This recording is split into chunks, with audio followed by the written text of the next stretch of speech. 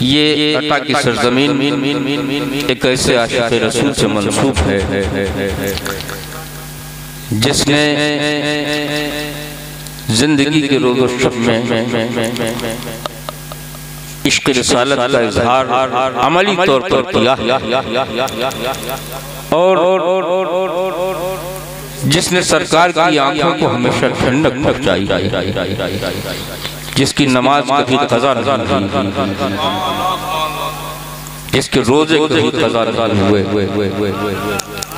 ایک ایسا رہبر ایک ایسا پیر جو بارگاہ قطب المدار میں مقبول اور سلسلے کے ہر محاج پر ایک مسلح سپاہی کی طرح ہر وقت تیار نظر آتا میں یہ محسوس کر کے کہ غائبانہ وہ ہماری اس بزم میں شامل ہیں۔ ہم ایک نعت پاک کچھ شیر پیش کر رہے ہیں۔ ملاحظہ فرمائیں۔ کہ بھرے آنکھوں میں آنسو ہیں، لگے ہونٹوں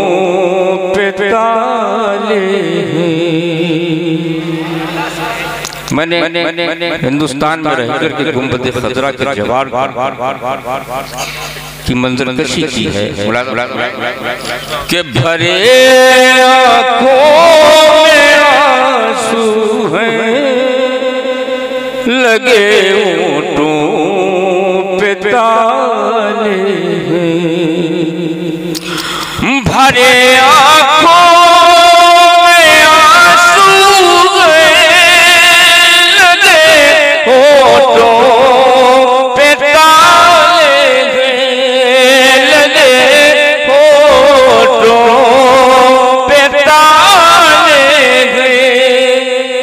ہیں جوارے گنبد قدرہ تیرے منظر نرالے ہیں۔ جوارے گنبد قدرہ تیرے منظر نرالے ہیں۔ جوارے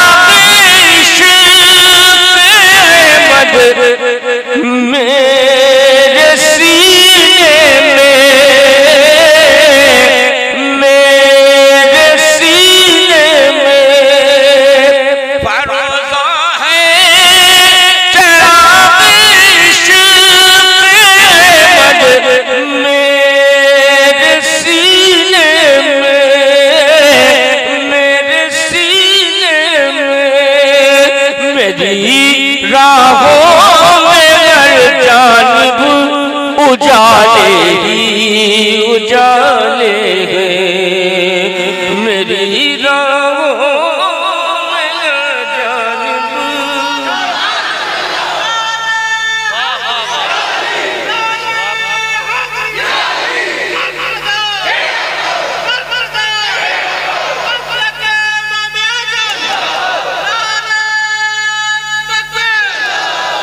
میری راہ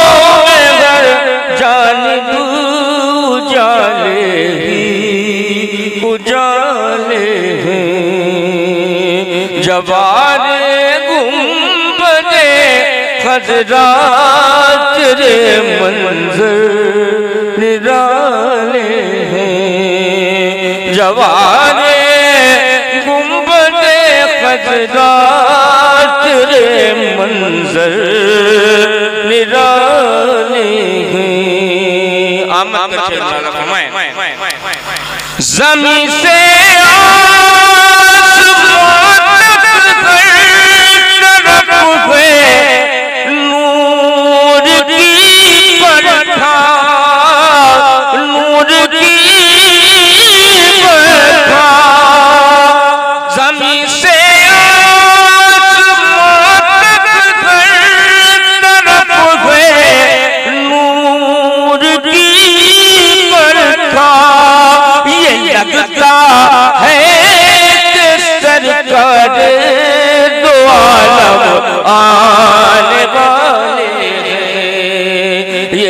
لگتا ہے کہ سرکار دو عالم آر والے ہیں جوار گنبد خزرا تیرے منظر نرانے ہیں یہ شعر بھی ملازہ فرمائے۔ شعر دیکھیں کہ فضائے مہکی مہکی ہوئے غبائے بہتی بہتی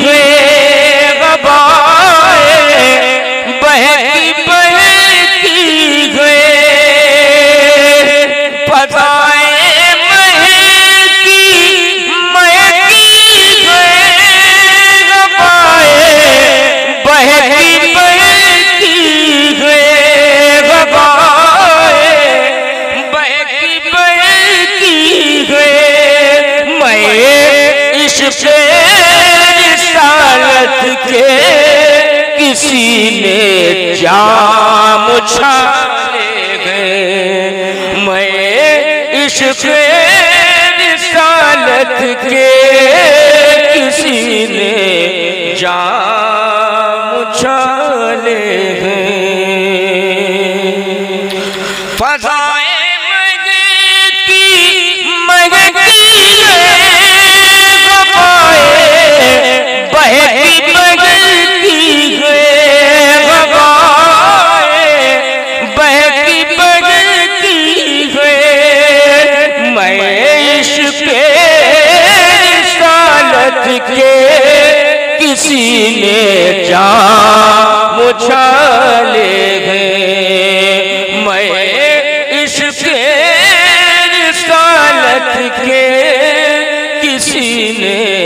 نے جام چھالے گئے۔ بڑے آنکھوں میں آنسو ہیں لگے ہونٹوں پہ تالے گئے۔ جوانے گنبد خزرا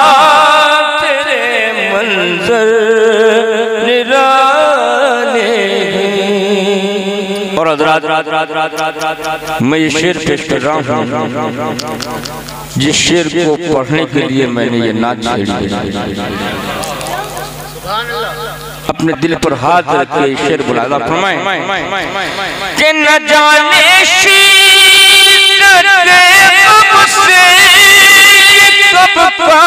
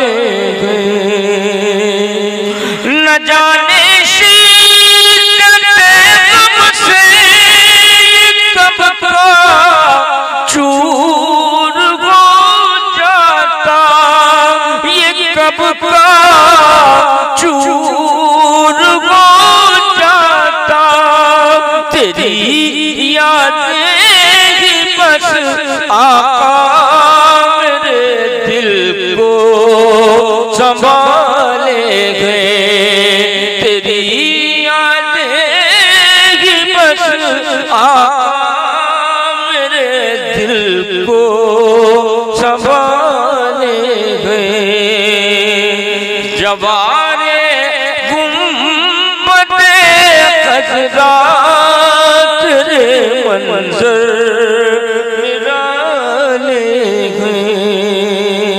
اور مقتہ پیش کر رہا ہوں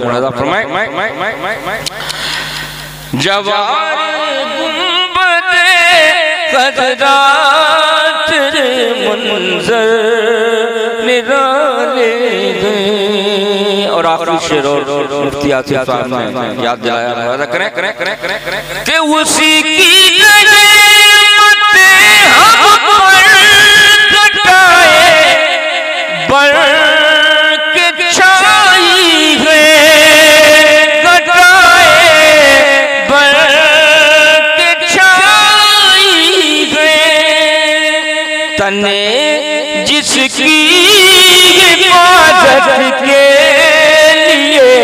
مکڑی کے جالے تنے جس کی حفاظت کے لیے مکڑی کے جالے ہیں۔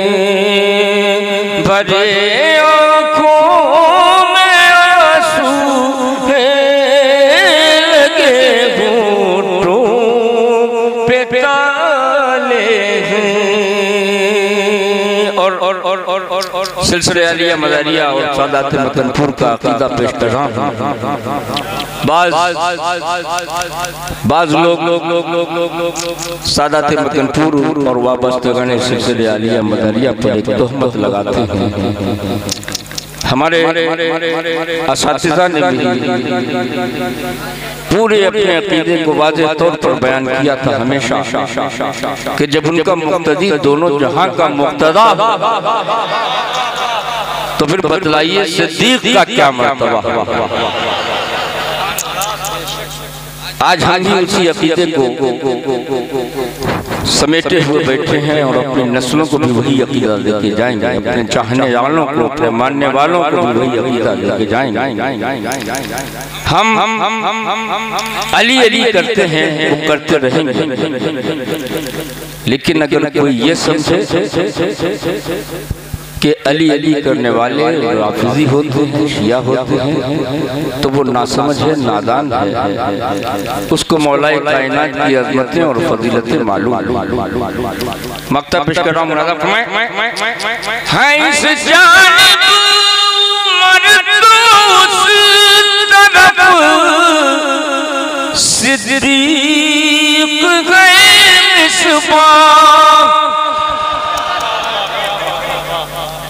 حضرت صدیق اکبر نے یہ وسیعت کی تھی کہ مجھ کو میرے محبوب کے میرے آقا میرے مولا میرے مونس میرے حمدم کے قدموں میں دفن کرنا۔ اور بغیر اجازت دفن مت کرنا میری لاش میری لاش کو میرے جنازے کو گنبد خضرہ کا جو حجرہ ہے جسے حجرہ عائشہ کہا جاتا تھا اس حجرے کے دروازے